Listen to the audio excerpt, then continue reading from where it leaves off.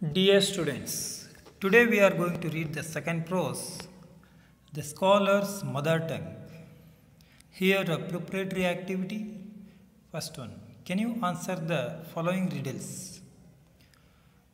Riddles ಅಂದರೆ ನೀವು ಕನ್ನಡದಲ್ಲಿ ಕೇಳಿರುತ್ತೀರಿ ಒಗಟುಗಳು ಅದೇ ರೀತಿಯ ಒಗಟುಗಳನ್ನು ಈ ಇಂಗ್ಲೀಷ್ನಲ್ಲಿ ಕೇಳಲಾಗಿದೆ ಅವುಗಳಿಗೆ ಉತ್ತರಿಸುವ ಪ್ರಯತ್ನ ಮಾಡಿ what is the longest word in the English language ಯಾವ ಶಬ್ದವು ಅತ್ಯಂತ ಉದ್ದವಾಗಿದೆ ಇಂಗ್ಲೀಷ್ ಲ್ಯಾಂಗ್ವೇಜ್ನಲ್ಲಿ ಅದು ಸ್ಮೈಲ್ ಆ ಎಸ್ ಅನ್ನು ತೆಗೆದಾಗ ನಮಗೆ ಮೈಲ್ ಎಂದು ಆಗುತ್ತೆ. ಮೈಲ್ ಎನ್ನುವುದು ಉದ್ದವನ್ನು ಅಳೆಯುವಂತಹ ಒಂದು ಮಾನ. ಅದೇ ರೀತಿ what starts with P ends with E and has millions of letters ಯಾವ ಶಬ್ದವು ಪಿ ಇಂದ ಶ್- ಆರಂಭವಾಗುತ್ತದೆ ಮತ್ತು ಇ ಇಂದ ಕೊನೆಗೊಳ್ಳುತ್ತದೆ ಮತ್ತು ಅದು ಲಕ್ಷಗಟ್ಟಲೆ ಪತ್ರಗಳನ್ನು ಹೊಂದಿದೆ. ಯಾವುದಿರಬಹುದು? ಅದು ಪೋಸ್ಟ್ ಆಫೀಸ್. ನೋಡಿ ಪಿದಿಂದ ಶುರುವಾಗುತ್ತೆ ಮತ್ತು ಇನಲ್ಲಿ ಕೊನೆಗೊಳ್ಳುತ್ತದೆ. What word begins with E, ends with E and has one letter. ಯಾವ ಶಬ್ದವು ಇ ಇಂದ ಆರಂಭವಾಗುತ್ತೆ ಮತ್ತು ಈ ಇಂದ ಕೊನೆಗೊಳ್ಳುತ್ತದೆ. ಹಾಗೂ ಅದು ಒಂದೇ ಅಕ್ಷರವನ್ನು ಹೊಂದಿದೆ. ನೋಡಿ. E Y, I. ಐ ಅಂದರೆ ಕಣ್ಣು. ನಾವು ಐ ಎಂದು ಉಚ್ಚಾರಣೆ ಮಾಡುತ್ತೇವೆ ಮತ್ತು ಅದು ಇಂದ ಆರಂಭವಾಗುತ್ತೆ, ಈ ಇಂದ ಕೊನೆಗೊಳ್ಳುತ್ತೆ. ಅದೇ ರೀತಿ, which pillar keeps crawling on the time. ಯಾವ ಪಿಲ್ಲರ್ ಯಾವತ್ತೂ ತೆವಳುತ್ತಾ ಇರುತ್ತದೆ? ಅದು ಕ್ಯಾಟ್ರಪಿಲ್ಲರ್ ಅಂತ ಕರೆಯುತ್ತೇವೆ. ನೀವು ಅದನ್ನು ನೋಡಿರುತ್ತೀರಿ. ಬೇಕಿದ್ದರೆ ಆ ಚಿತ್ರವನ್ನು ಈಗ ನೋಡೋಣ. ಇದು ಕ್ಯಾಟರ್ ಪಿಲ್ಲರ್ನ ಚಿತ್ರ. What has size and shape but no weight ಯಾವುದಕ್ಕೆ? ಆಕಾರ ಮತ್ತು ಗಾತ್ರ ಇದೆ, ಆದರೆ ತೂಕವನ್ನು ಹೊಂದಿಲ್ಲ. ನೋಡಿ, ನಾವು ಬಾಹ್ಯಾಕಾಶದಲ್ಲಿ, ಅಂದರೆ ಬೇರೆ ಗ್ರಹಗಳಿಗೆ ತೆರಳಲು ಬಳಸುವಂಥ ಸ್ಪೇಸ್ ಶಿಪ್ಗಳಲ್ಲಿ ನಾವು ತೇಲಾಡುವುದನ್ನು ನೋಡಿದ್ದೇವೆ. ಅಲ್ಲಿ ಅವರು ತೂಕವನ್ನು ಕಳೆದುಕೊಳ್ಳುತ್ತಾರೆ. ಆ ಒಂದು ಉದಾಹರಣೆಯನ್ನು ನಾವು ಕೊಡಬಹುದು. Which son may prove dangerous. ಯಾವ ಮಗನು ಡೇಂಜರಸ್ ಆಗಿ, ಆಗಿದ್ದಾನೆ ಎನ್ನುವುದನ್ನು ನೀವು ತಿಳಿಸಬೇಕು. Which son may prove dangerous poison ನಾವು ಬರೆಯುತ್ತೇವೆ ಪಾಯ್ಸನ್ ಎನ್ನುವುದನ್ನು P O I S O N ಎಂದು. ಎಸ್ ಒ ಎನ್ ಅದೇ ಮಗ, ಈ ರೀತಿಯ ಒಂದು ಒಗಟು ಪಾಯ್ಸನ್ ವಿಷ. What cannot move or walk but can go from place to place ಯಾವುದು ನಡೆಯುವುದಿಲ್ಲ ಮತ್ತು ಸರಿಯುವುದಿಲ್ಲ, ಆದರೆ ಅದು ಸ್ಥಳದಿಂದ ತ ಸ್ಥಳಕ್ಕೆ ಹೋಗುತ್ತದೆ. ಯಾವುದು? Road. Which letter in the English alphabet always asks a question ಯಾವ ಅಕ್ಷರವು? ಇಂಗ್ಲೀಷ್ ಅಲ್ಫಾಬೆಟ್ನ ಯಾವ ಅಕ್ಷರವು? ಯಾವತ್ತೂ ಪ್ರಶ್ನೆಯನ್ನು ಕೇಳುತ್ತದೆ? Y W H Y why ಅಂದರೆ ನಾವು ಯಾಕೆ ಎಂದು ಕೇಳುತ್ತೀವಲ್ಲ, ಅದೇ ಅಕ್ಷರವನ್ನು ನಾವು ವಾಯ್ ಎಂದು ಉಚ್ಚಾರಣೆ ಮಾಡುತ್ತೇವೆ. ಅದೇ ರೀತಿ ಇನ್ನೊಂದು ಪಜಲ್ ಇದೆ. ಈ ಪಜಲ್ ಅಂದರೂ ಕೂಡ ಒಗಟು ಎಂದೇ ಅರ್ಥವಾಗುತ್ತೆ. ರೀಡ್ ಆ್ಯಂಡ್ ಎಂಜಾಯ್ ಓದಿ ಮತ್ತು ಆನಂದಿಸಿ.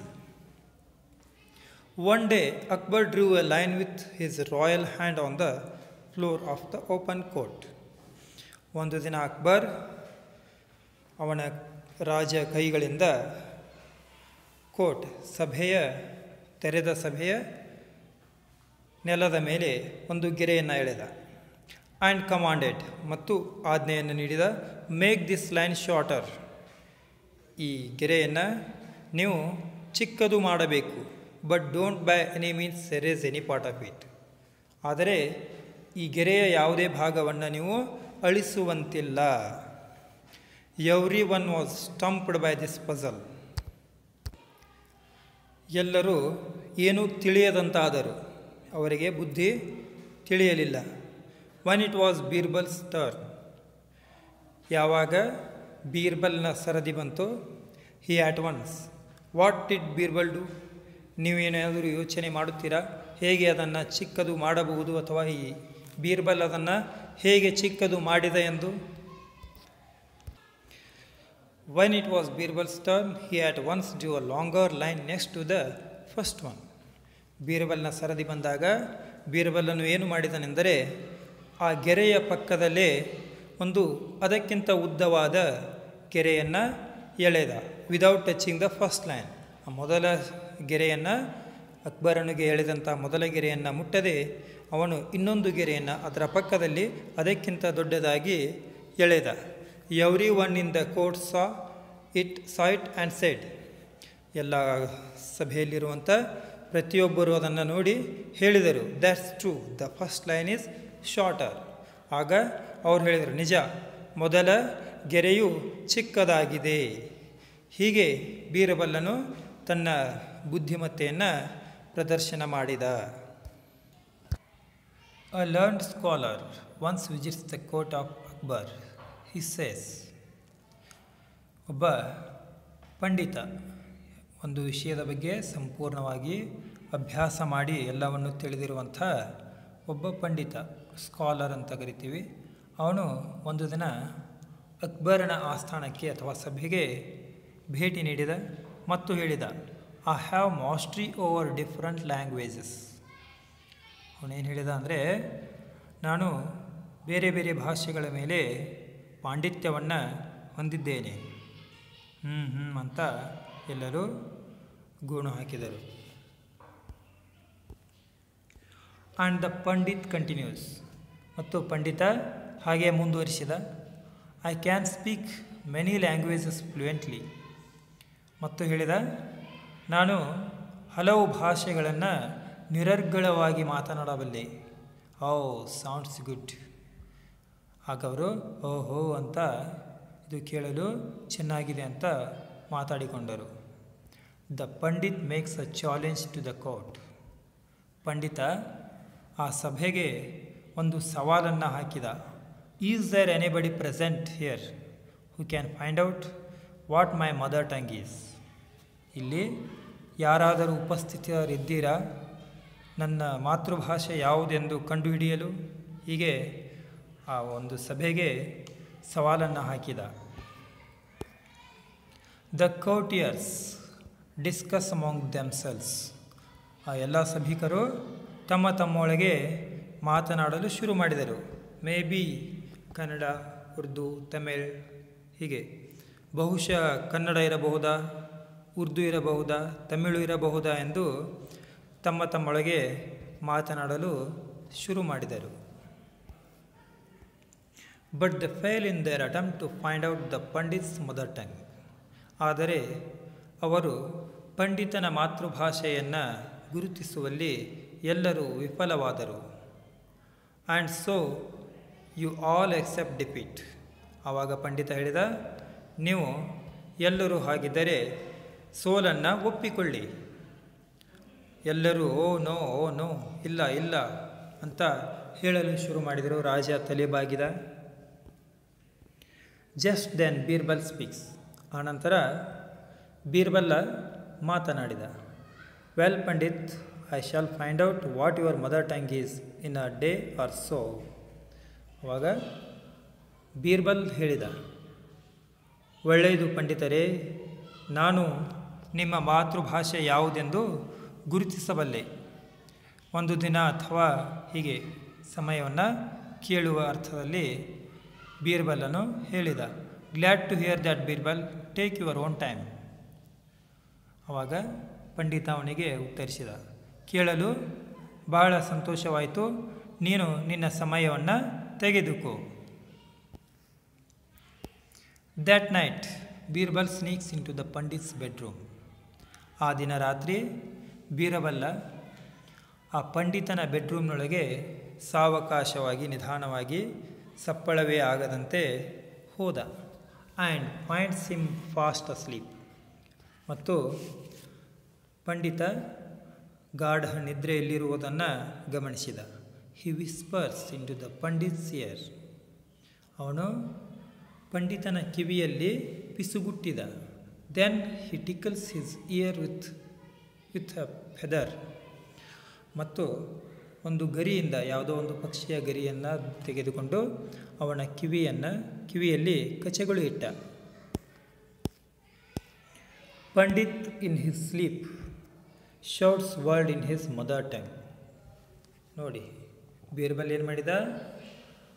ಅವನ ಬೆಡ್ರೂಮ್ನಲ್ಲಿ ಹೋದ, ನಿಧಾನವಾಗಿ ಸಪ್ಪಳವೇ ಆಗದಂತೆ ಮತ್ತು ಅವನ ಕಿವಿಯಲ್ಲಿ ಪಿಸುಗುಟ್ಟಿದ ಮತ್ತು ಒಂದು ಪಕ್ಷಿಯ ಗರಿಯಿಂದ ಅವನ ಕಿವಿಯಲ್ಲಿ ಕಚೆಗಳು ಇಟ್ಟ. ಆವಾಗ ಪಂಡಿತ ತನ್ನ ಮಾತೃಭಾಷೆಯಲ್ಲಿ ಚೀರಿದ. ಏನದು? ಯವರದಿ. ಯವರದಿ ಎಂದು ಚೀರಿದ. ಆವಾಗ Birbal, oh, well that's it. ಓ, ಹೀಗೋ. ಅದು ಗೊತ್ತಾಯಿತು ಎನ್ನುವ ರೀತಿಯಲ್ಲಿ ಮಾತನಾಡಿಕೊಂಡು ಹೊರಗೆ ಬಂದ. The next day in the court. Your majesty, the pandit's mother tongue is Telugu. ಬೀರ್ಬಲ್ಲ ಅಕ್ಬರನಿಗೆ ಹೇಳಿದ ಮರುದಿನ ಸಭೆಯಲ್ಲಿ, ಏನೆಂದು? Your majesty the pandit's mother tongue is Telugu. Your majesty ಅಂದರೆ ಇಲ್ಲಿ ರಾಜನಿಗೆ ಎಲ್ಲರೂ ಕೊಡುವಂತಹ ಒಂದು ಮರ್ಯಾದೆ ಸೂಚಕ ಪದ. ಓ ಪ್ರಭುವೇ, ರಾಜನ್ ಹೀಗೆ ಹೇಳಿದ. Pundit's mother tongue is Telugu. ಪಂಡಿತನ ಮಾತೃಭಾಷೆಯು ತೆಲುಗು ಎಂದು ಹೇಳಿದ. ಆವಾಗ ಪಂಡಿತ ಹ್ಞೂ ಎಸ್ ಅಂದ. ಹೌದು ಅಂತ ಒಪ್ಪಿಕೊಂಡ. ಕಿಂಗ್ ಅಕ್ಬರ್ ಈಸ್ ಆಸ್ಟೋನಿಶ್ಡ್ ರಾಜ ಆಶ್ಚರ್ಯಚಕಿತನಾದ. ರಾಜ ಅಕ್ಬರನು ಭಾಳ ಆಶ್ಚರ್ಯಚಕಿತನಾದ.